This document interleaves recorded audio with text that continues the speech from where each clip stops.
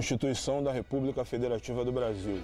Artigo 6 São os direitos sociais à educação, à saúde, o trabalho, a moradia, o lazer, a segurança, a previdência social, a proteção à maternidade e à infância, a assistência aos desamparados na forma desta Constituição. Sou MV Bill, é, músico de hip hop, também escritor, documentarista junto com o Celso Ataíde, é integrante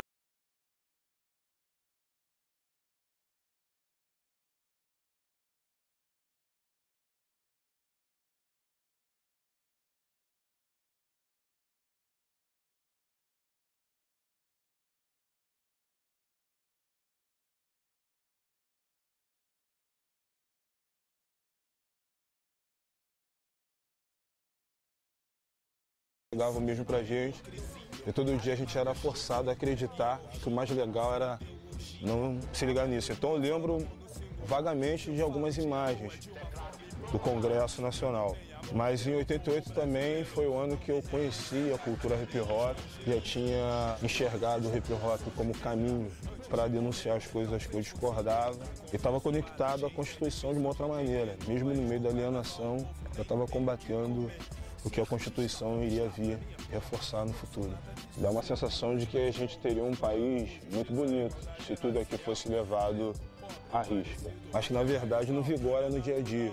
É como se existisse em algumas periferias uma outra Constituição, uma outra lei própria, onde essa aqui não vale muito. O Brasil acho que talvez seja um dos países que mais tem leis, mas quando a gente não consegue fazer vigorar muitas das que já existem.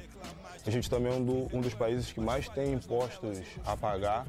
E quando você tem que pagar caro para poder ter uma boa educação, para ter uma saúde de qualidade, aí para mim isso começa a se tornar artigos de luxo dentro do país onde a maioria não tem dinheiro, não tem um grande poder aquisitivo.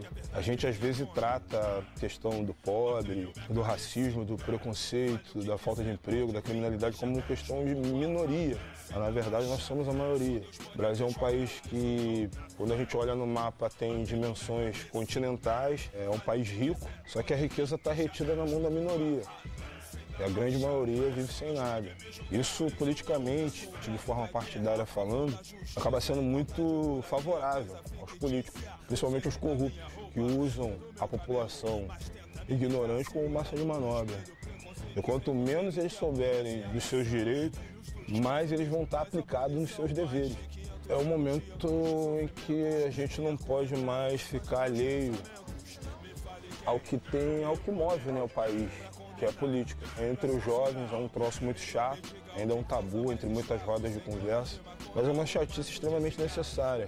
Às vezes eu vejo alguns amigos, também jovens, que dizem não querer se envolver na política, falar de política